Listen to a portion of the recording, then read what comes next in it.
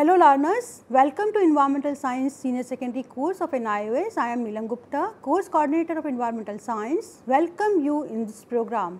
Today we will discuss lesson 12, disaster and their management of module 4, contemporary environmental issues. In our previous program, we have discussed natural catastrophes such as floods, drought, earthquake, tsunami happen from time to time causing immense damage to life and property. Disaster also caused by activities such as fires, accidents, epidemics are no less sudden than natural disaster and may be equally devastating. This program is part 2 of this lesson. During this program, we will discuss about man-made disasters such as fire, road, rail and air traffic accidents. We will also discuss industrial accidents in brief, few biological disasters such as epidemics as dengue, HIV and AIDS and mad cow disease. We will also discuss community and government level initiatives for disaster management. So, the objectives of the program are certain disasters occur in nature by human activities, explain the causes, effect and management of fire, road, rail, air and industrial accidents as well as epidemics, explain the role of community and government in disaster management, now come to the man-made or anthropogenic disasters. Anthropogenic hazards are those hazards caused directly or indirectly by human action or inaction. Bhopal gas tragedy in India on December 2, 1984 is the world's worst industrial disasters when the Union Carbide India Limited pesticide plant sprang a ga gas leak. Over 5 lakhs people were exposed to methyl isocyanate gas and other chemicals. Thousands of people died within the first hour of the leak, but estimates between 5,000 to upward of 16,000 resulted from the leak overall. This does not include other injuries survivors would endure such as blindness and organ failure etc. Next man-made disaster is fire. Fire can be natural that is forest fire or city fire or domestic fire. Domestic fire Fires are event of burning something, they are often destructive taking up toll of life and property. It, it is observed that more people die in a fire than in a cyclone, earthquake, flood and other natural disasters combined. Fires are a great threat to forest and wildlife because they spread speedily and cause tremendous damage in a short time. In cities, fire breaks out in home, juggies, building especially godowns and factories Fire can spread to a large area, many people may die and it may also cause environmental contamination of air, water and soil which may affect the crop, plants and animals and soil fertility. During summer months, such fires results in casualties and enormous economic losses. there, are numerous causes of fire. Some important ones are throwing burning matchsticks or cigarettes, responsibility, Heating sources can cause fire in houses. Example, clothes may catch fire while cooking on kerosene stove or gas stove. Cooking accidents are ma major cause of fire at home. Fire can result due to unattended cooking. A short circuit in an electric wiring can cause fire. Overheating of electric appliances, poor wiring connections, use of substandard quality appliances can also result in a fire. Rubbish and waste material often lying on roadsides or near houses may catch fire when people throw burning matchsticks or cigarette butt. Storage and transportation of inflammable material or explosive chemicals without proper precautions may cause fires. These are the effect of fire. Deaths of humans and livestock may occur during due to burning or serious injuries from fire. In rural areas, often the entire harvested crop stored in securely may catch fire and burn to ashes resulting in heavy loss to the owner. Now come to the management of fire. Obey fire safety rules and remember the evacuation route in case of fire. Keep and handle inflammable materials with utmost care Keep a fire extinguisher in the house and learn how to use it. When you leave home, make sure to shut off all electrical and gas appliances. Do not plug several devices into one socket. Keep matches away from children, do not block access routes by cupboard or any furniture. In the event of a fire, call the fire department immediately. In the smoke filled corridor, crawl on all floors or on your belly as the smoke is less on the floor. Find at least two ways to escape from your home. Make sure that you remove all the waste material from workplace and home on regular basis. Hazardous materials such as paint, solvents, adhesives, chemicals or gas cylinders should be kept in separate storage well away from fire. Firecrackers on Diwali is a major cause of fire in our country. Use them carefully under supervision of elders. Next section is road, rail and tra air traffic accidents. First we will take road accident. Increased number of vehicles on road, violation of traffic rules, speeding and drunken driving and poor maintenance of road are some aspect of road accidents.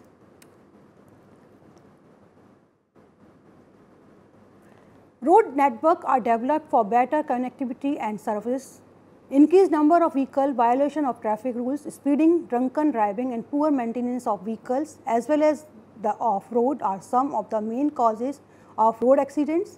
In order to avoid accident, some safety measures can be adopted. Look on either side of the road before crossing. Use zebra crossing while crossing the road by foot. Wear helmet while riding a two-wheeler Use seat belt provided in your car. Drive only if you possess a proper driving license. Be familiar with road markings and honor them. Maintain a safety distance from the vehicle in front. Don't jump lanes. It becomes difficult for other vehicles on the road to anticipate you move. Dip your beam whenever you spot an oncoming vehicle. Follow the maintenance schedule prescribed by the manufacturer overcome impatience, anger and intoxication during driving. Road is dangerous in case a mishap occurs, stay calm. In case of fire, try to get out as early as possible and do not worry about the baggage. Some of the common safety measures are do not be rash and do not try to overtake unnecessarily. The best way to be safe on roads is to follow lane driving. While driving, avoid sudden acceleration and deceleration, replace the worn tire and faulty headlamps, check the tire pressure, radiator water, brake oil and fuel frequently. Here are some road safety measures on the road. Look at the figure, it shows few safety measures for road safety that is control speed, reduce drinking and driving, use helmets for bicyclists and motorcyclists, restrain children in vehicles, improve children's ability to see and seen, enhance road infrastructure, adapt vehicle design, implement graduated driver licensing, provide appropriate care for injured children and supervise children around roads. Now come to the rail accidents. The most common type of rail accident is derailment due to human error, sabotage or natural landslide in a hilly track or fire rail accidents lead to lead to large number of casualties and material damage. Indian Railways incur heavy loss due to such accidents every year. Now come to the railway safety measures. At railway crossings, pay attention to the signal and the swing barrier. Don't get underneath and try to get across. In case of an unmanned crossing, get down from the vehicle and look at either side of the track before crossing. Do not stop the train on a bridge or tunnel where evacuation is not possible. Do not carry inflammable material in a train, do not lean out of a moving train, do not smoke in a train, do not pull the emergency cord unnecessarily. Nowadays, many air accidents are happen. So, next section is air accidents. Air accidents may occur due to technical problems, fire, poor landing and takeoff, weather conditions, hijacking and bombing etc. There are few air safety measures in the figure. Safety measures for air accidents are pay attention to the flight crew safety demonstration, carefully read the safety card in the pocket, know where is the nearest emergency exit and learn how to open it. Always keep your seat belt fastened when seated, stay calm, listen to the crew members and follow their instructions. Before you try to open any emergency door yourself, look outside the windows. If you see a fire outside the door, do not open the, it or the flame may spread into the cabin. Try to use an alternate route for escape. Remember, smoke rises, so try to stay down if there is smoke in the cabin. If you have a cloth, put it over your nose and mouth. As mentioned in the beginning of this program about Bhopal gas tragedy, this was an industrial accident also. We will talk about detail, some detail of industrial accidents. Industrial accidents can be due to explosion, fire and leakage of toxic or hazardous chemicals and led to heavy loss of life and material. Leakage of chemicals and explosion may be due to human error, technological failure or geological hazards such as earthquakes, flood etc. Fire is an industry may result from human error or electrical fault. Here are the causes of uh, industrial accidents such as explosion, fire and toxic or hazardous material. Now come to the effect of industrial accidents. Explosion or fire or leakage of corrosive chemicals severely damage structures. If the chemical is in gaseous form, the geographical spread is fast and wide. Many people may die either due to mechanical damage from explosion or fire or due to toxicity of the poisonous chemicals, the routes of exposure to chemical release from an accident are from inhalation, eye exposure, skin contact and ingestion. The polluting agents can have both immediate or long term effect. The immediate effects include death or other symptoms like dizziness, headache, irritation etc. The long term effect may include cancer, heart failure, brain damage, dysfunction of immune system, deformation, genetic disorder or congenital that is birth by birth disorders in children. Now come to the management of industrial accidents. It is important to have an inventory of hazardous chemical along with their quality, storage locations, characteristics along with possible hazards associated with hazardous chemicals and this informed all employees and people living in the neighborhood should living in the neighborhood should inform about the potential risk. The inventory as far as possible high risk areas demarcated and displayed along with indicating affected zone and safe routes for evacuation in the event of emergency. Industries should not be sited in residential areas, a large buffer zone in form of a green belt for separating an industrial area from residential area. Community preparedness, the community should be aware of the hazardous installations and know how to combat the situation. Members of the community should monitor the potential risk and participate in safety training organized by industries. Other measures limit storage capacity of the toxic chemicals, improve firefighting capability warning systems and measures for preventing pollution dispersion, develop emergency relief and evacuation planning for employees in nearby settlements, adopt insurance for employees and surrounding population which is mandatory under the law. Now come to the discuss now discuss about biological disasters. Biological disaster is a devastating caused by an enormous spread of a certain kind of living organisms that may be the spread of disease, virus or an epidemic. It can also be sudden growth in the population of a certain kind of plant or animals. Example, a locust plague. It may be described as a disaster caused due to natural outbreak of epidemics or intentional use of biological agents through dissemination of microorganism or toxin is food or toxins in food or water or insect vector or by aerosol to harm human population, food crops and livestock to cause outbreaks of disease.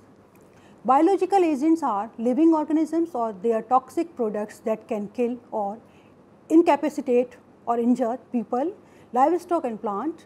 Biological weapons are referred to as a poor man's bomb because they are easy to manufacture, can be deployed without sophisticated delivery systems and have the ability to kill or injure hundreds of people.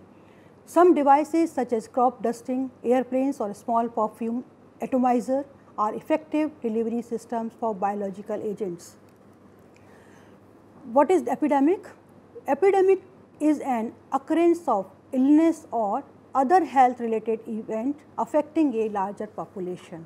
Epidemics pose a major risk of, to the health and welfare of global human and animal populations. The staggering impact on a population can be both direct and indirect. Human populations are directly at risk from infection and indirectly at risk through the impact on their food supply. The risks associated with food supply include the economic losses related to the culling of animals and the unavailability of food caused by real or suspected contamination. In addition, epidemics have the potential to severely disrupt global supply chains and further harm human health. An epidemic's impact on the economy can vary based on its imminent and long-term severity. This is influenced by the rate of hospitalization, insurance premiums, outpatient visit and the large contributor death. Now come to the causes of epidemics. It is poor sanitation, seasonal changes, poverty and overcrowding and vectors. Now come to the effects of epidemics. Epidemic may cause mass illness or death. There are secondary effects such as disruption in the society and economic losses. Vulnerability is high among those who are poorly nourished, people living in a unhygienic in sanitary condition, poor quality of water supply, lack of access to health services. Now come to the management of epidemics. Preventive public health measures needs to be strengthened. Personal protection through vaccination is an effective mitigation measure. Improvement of sanitary conditions, fumigation of vector breeding sites and proper disposal of domestic and municipal waste greatly reduce chances of epidemic spread of diseases, contingency plan for dealing with the epidemics that are likely to occur in the region. Early warning system and regular surveillance are primary requirements so as to mount an effective control response in early stages to prevent any outbreaks. Now, we will discuss some common diseases that may reach epidemic proportions are described. First one is dengue. Dengue is also called break-bone fever or dengue fever. It is an acute infectious mosquito-borne hemorrhagic fever. Beside fever, the disease is characterized by an extreme pain and stiffness of the joints, hence the name break-bone fever. Dengue is caused by a virus transmitted through a mosquito called Aedes aegypti or Asian tiger mosquito a mosquito becomes infected only it, it bites and infected individuals or humans during the first 3 days of the victim's illness. It then requires 8 to 11 days to incubate the virus before the disease can be transmitted to another individual. Thereafter, the mosquito remains infected for life. The virus is injected into the skin of the victim. There is no specific therapy Therefore, attention is focused on preventive measures involving mosquito control, the only effective way to prevent spread of dengue. Next one is HIV or AIDS, human immune virus, HIV and AIDS acquired immunodeficiency syndrome. The com most common methods of transmission of HIV are unprotected sex with an infected partner, sharing machine, needles with infected person, infection from blood transfusion or transmission uh, with infected mother to fetus. The year 2001 was the 20th anniversary of the initial reports of a mysterious deadly immune system disorder that came to be known as AIDS. the disease epidemic that had killed more than 21 million people in the world. In 2001, an estimated 36 million people were living with HIV infection. This disease is caused by virus called HIV, which is mostly transmitted through sexual union and blood transmission. Third one is mad cow disease. Bovine spongiform encephalopathy or mad cow disease in cattle is caused by an infectious agent that has a long incubation period between 2 and 5 years. Death usually follows, death usually follows within a year of the onset of symptom. No treatment or palliative measures are known. First recognized in cattle in the United Kingdom in 1986. Mad cow disease became epidemic there, particularly in southern England after the emergence of mad cow disease, concern grew over a possible relationship between the animal disease and the occurrence of brain fever disease in men, possibly due to consumption of infected beef. We have given an idea about natural disasters, man-made disasters as well as biological disaster during these program. Now, we will discuss about community level disaster management. At the time of disasters, various agencies such as government, NGO and communities play an important role for disaster management. It has four basic components. First one preparedness, second response, third recovery and fourth one is prevention. Community participation has been recognized as the additional element in disaster management necessary to reverse the worldwide trend of exponential increase in disaster occurrence, loss from small and medium scale disasters, build a culture of safety and ensure sustainable development for all. Community preparedness can be thought of as the advanced capacity of the community to respond to the consequences of an adverse event by having plans in place so that people know what to do and where to go if a warning is issued or a hazard is observed. Good practices in the community based approaches to disaster mitigation highlight factors such as tapping traditional organizational structures and mechanisms, including formal and informal community leaders and capability building activities with the community disaster committees and volunteers.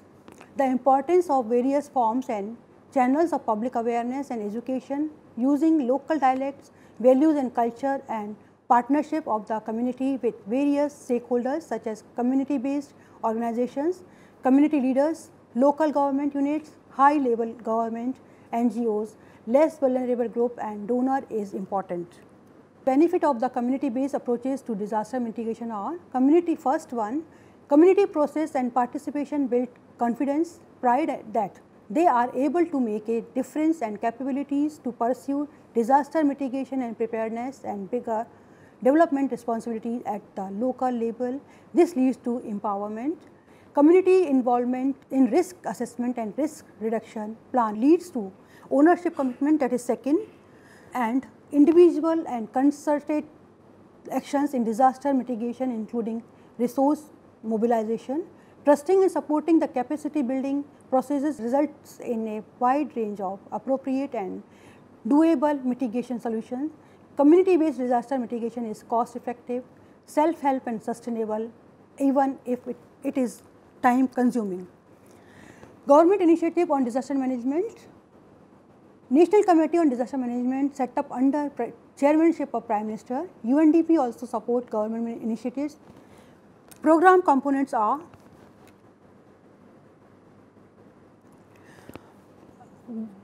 develop of state and district disaster management plans, development of disaster risk management and response plan at village, board, gram panchayat, block, urban or local body levels, constitution of disaster management team and committees at all levels with adequate representation of women in all communities and team.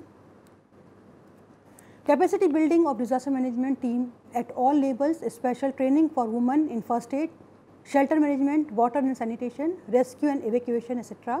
Capacity building in cyclone and earthquake resistance features for houses in disaster prone districts, training in retrofitting and construction of technology demonstration units, Integration of disaster management plan with development plans of local self-government.